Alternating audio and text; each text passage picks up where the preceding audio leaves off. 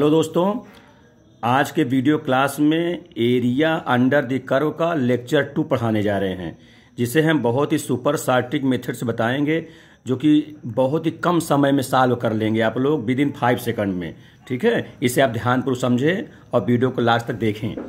पहला क्वेश्चन है, the area of the region described by x, y such that y square less than or equal to x and y greater than or equal four x minus one.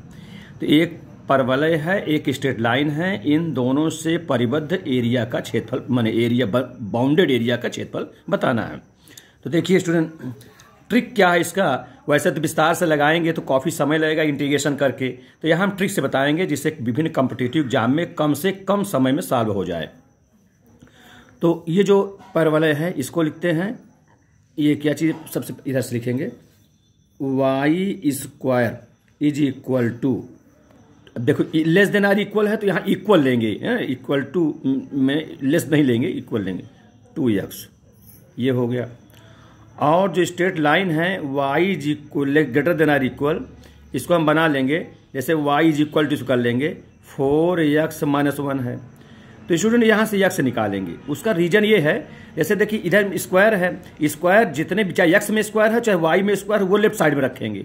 और जो, जिनमें power one है, मैंने x है या Y है, उसको right side रखेंगे। और उसी के नीचे स्ट्रेट लाइन से यक्स है तो यक्स की वैल्यू यहाँ से निकालेंगे। अगर यहाँ वाई होता तो वाई की वैल्यू निकाल कर कुछ नीचे रखते हैं। देखिए तो ये जो ग्रेटर है, वो हटा दे इक्वल लगा देंगे, और इसको उधर लाएँगे तो हो जाएगा y plus one divide by four is equal to x ऐसा। या इसको से कह देंगे one upon four y plus one upon four ये एक्स की वैल्यू हो गई। अब ये जो परवलय लिखे हैं वाई स्क्वायर टू एक्स इसमें ये एक्स है, और यहाँ स्ट्रेट लाइन से एक्स का मान निकाला हूँ तो इसी के नीचे लिखूँगा ये, इस प्रकार से करके ना? वेरो करके एक्स तो एक्स इज़ इक्वल टू कितना मान आया है? One upon four y plus one upon four ऐसा कर देते हैं। फिर ये ट्रिक है स्टूडेंट ध्यान दीजिएगा पहले इस प्रकार बना लेंगे स्क्वायर वाले को लेफ़्ट साइड अब बिना पावर वाले को सिंगल पावर को राइट साइड और उसी जो वेरिएबल रहे, वही वेरिएबल का स्ट्रेट लाइन से निकाल करके उस नीचे रखते हैं। तो यहाँ करते क्या है, जो यहाँ पर परवलय में जो एक्स का कोफिशियंट है, जो दो लिखा हुआ है, इसका स्क्वायर करते हैं। स्क्वायर ठीक है, ये कांस्टेंट का एक्स नहीं, केवल कांस्टेंट का स्क्वायर करेंगे। और जो यहाँ पर वाई का जो कोफिशियंट है वन अपान फोर इसका क्यूब करते हैं। ठीक है, इसका स्क्वायर ये और इसका क्यूब और दोनों का आपस में मल्टीपुल दोनों का मल्टीपुल करके, है? दोनों का मल्टीपुल करके, और उसमें नाइन बाई टू से गुणा कर देते हैं और। यही सुपर ट्रिक है स्टूडेंट क्या किया? जो यहाँ पर है कोफिशियंट उसका स्क्वायर और जो यहाँ पर कोफिशियंट है, ये वाई का कोफिशियंट इसका क्यूब दोनों का मल्टीपुल करके, अब बगल में उसको नाइन बाई टू से और मल्टीप्लाई कर देंगे, जो आ जाएगा, वही जो है बाउंडेड एरिया हो जाएगा। तो इसको देखिए यहाँ मैं कर रहा हूँ, इसका दो का स्क्वायर कितना हो area is equal to area is equal to दो का स्क्वायर फोर हो जाएगा, और इसका क्यूब करूँगा।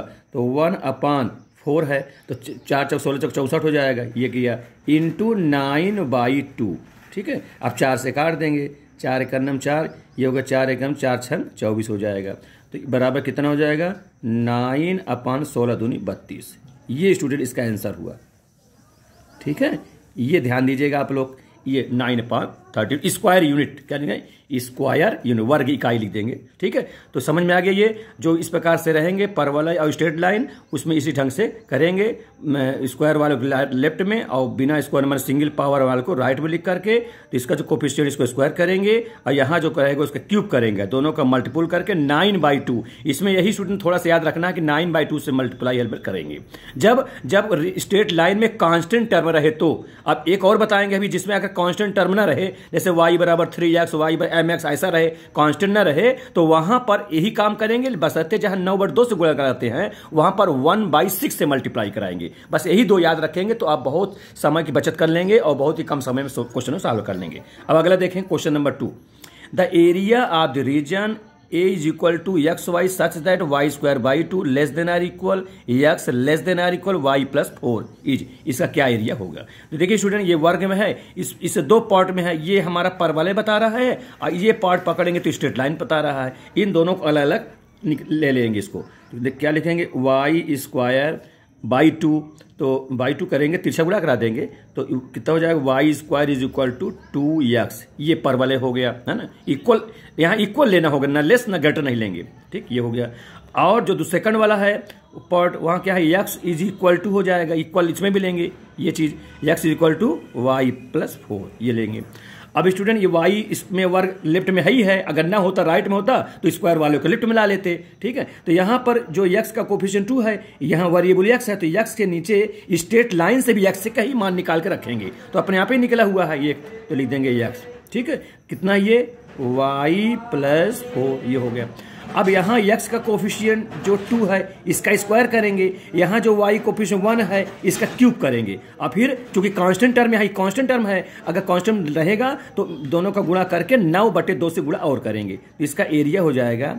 Area is equal to two का स्क्वायर कितना लिख देता हूँ? टू का स्क्वायर इंटू वन का क्यूब ये, इसका स्क्वायर और इसका क्यूब ध्यान दीजिएगा, लिख भी दिया हूँ स्क्वायर और इसका क्यूब और इंटू नाइन बाई टू ये इसका ट्रिक है स्टूडेंट ठीक? तो ये हो जाए कितना? अब ये दो दूनी चार ये तो एक ही है, एक एक जाएगा, दो से काट देंगे तो कितना दूनी? अठारह. अठारह स्क्वायर यूनिट ठीक है? ये इसकी आंसर हो जाएगा. अब तीसरा क्वेश्चन देखिए. The area cut off parabola four y is equal to three x square and line two y is equal to three x plus two student बहुत ही सुपर सार्टिक ये आप कहीं ये ट्रिक नहीं पाएँगे। ये मैं खुद बहुत ही मेहनत से खोज करके बनाया हूँ। इससे आपको बहुत फ़ायदा मिलेगा। ऐसे आप मेरे वीडियो को ठीक देखते रहेंगे। मैं बहुत हर टॉपिक का इसी प्रकार सुपर सार्टिक बनाऊँगा, जिस बनाता रहूँगा, जो कि आपके हर कंपटीशन में बहुत सहायता करेगा। ठीक है? देखिए, अब ये परवलय है ये स्ट्रेट लाइन है। यहाँ पे ऐसे करेंगे। स्क्वायर वाले को मैंने कहा लेफ़्ट में करूँगा। तो क्या हो जाएगा इसमें से?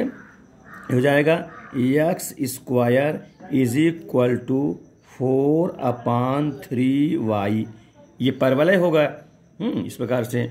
और स्ट्रेट लाइन से चूँकि यहाँ वाई है तो यहाँ से वाई निकालेंगे तो वाई बराबर कितना हो जाएगा? वाई बराबर इसका हो जाएगा कितना? थ्री बाई टू यक्स अब प्लस दो से डिवाइड करूँगा, दो छंग बारह, ये हो जाएगा। तो ये वाई ये वाई मिल रहा है, इसी के नीचे लिखेंगे इसको मान। यही इसका ट्रिक है। तो कितना लिखेंगे? Y is equal to three by two x plus six. ठीक है? अब इसका क्या करेंगे? इसका स्क्वायर करेंगे। इसका स्क्वायर। ऐसा क्या करेंगे? इसका क्यूब करेंगे। ठीक, इसका क्यूब और दोनों का आपस में गुणा करके दोनों का क्या करेंगे? गुणा करके नौ बटे दो से गुणा कर देंगे। क्योंकि इसमें कांस्टेंट भी बैठा है। कांस्टेंट कांस्टेंट ना होता तो एक बटे छः से ही गुणा कराते। वो अभी आप बताएँगे इसके आगे वाले में। तो देखिए तो इसका एरिया हो जाएगा। एरिया देखिए। इसका स्क्वायर चार चौको सोलह बटे तीन त्रिकाई नौ। इसका क्यूब अच्छा ये भी थोड़ा ट्रिक है। देखिए स्क्वायर है। तो यहाँ स्क्वायर हो गया। फिर स्क्वायर के आगे क्यूब वाला होता है, ऐसे याद रख लीजिए। जैसे इसमें स्क्वायर है तो इसका स्क्वायर किया। फिर स्क्वायर के आगे क्यूब होगा तो ये इसका क्यूब हो जाएगा। ठीक, इस प्रकार ध्यान रखिए। इसका क्यूब तीन तक नौ त्रिक सत्ताईस हो जाएगा, और दो दूनी चार दूनी आठ हो जाएगा। और गुड़ते नाइन बाई टू यही ध्यान रखिए, नौ बट दो से ही गुड़ा कराएँगे, जब कांस्टेंट रेखा में, लाइन में कांस्टेंट टर्मन है तो। तो कर दे, आठ दूनी सोलह से सोलह पूरा कट गया। नौ, ये हो गया नौ से, नौ ये भी कट गया। तो बराबर कितना सत्ताईस। ट्वेंटी सेवन स्क्वायर यूनिट ठीक है? ये जो है आंसर हो गया। अब अगला क्वेश्चन देखिए।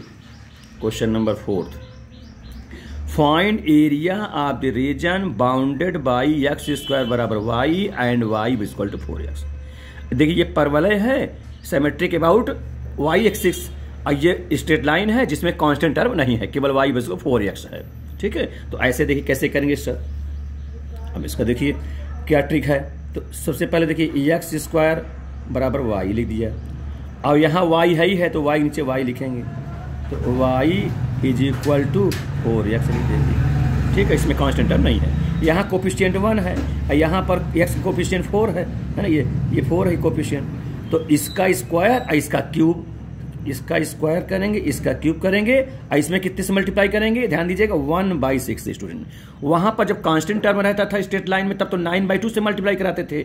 अगर कांस्टेंट टर्म नहीं है स्टेट लाइन में तो वन बाई सिक्स से मल्टीप्लाई करेंगे। इसी को स्टूडेंट आपको थोड़ा सा याद रखना है, बाकी सब बिज़ी है। बहुत ही सरल हो जाए, सब कुछ आपको बन जाएगा, ध्यान दीजिए। तो area is equal to one का स्क्वायर तो वन ही रहेगा। इंटू फोर का क्यूब चार चौक सोलह चौको चौंसठ हो जाएगा। इंटू वन बाई सिक्स ये हो जाएगा। ठीक? इसका स्क्वायर और इसका क्यूब ये ध्यान रखना है। काट दिए दो से दो तेही छः ये हो जाएगा कितना? दो तेही छः दो दूनी चार।